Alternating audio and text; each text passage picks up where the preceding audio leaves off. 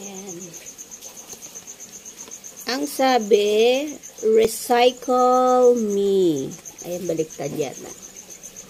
Ayan, recycle me. Kaya, ire-recycle natin siya.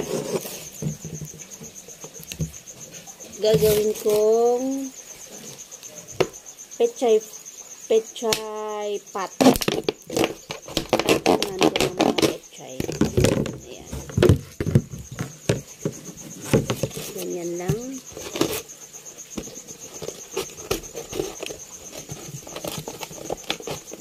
Kasi sabi niya, recycle me. Kaya i-recycle natin itong bottle ng Coke. Pagtamnan natin ng gulay. Ayan, ganyan lang. Okay. Slip. Ayan. Tapos, cut natin dito.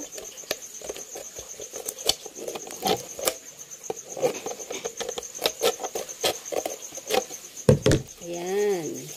Okay, di ba? Tapos, cut natin ulit dito sa kabila.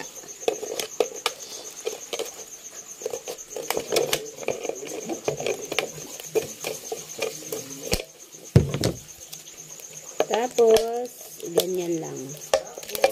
Lagyan ng ano na yan, lagyan ng soil. Bubutasan na lang dito. Yan, dito.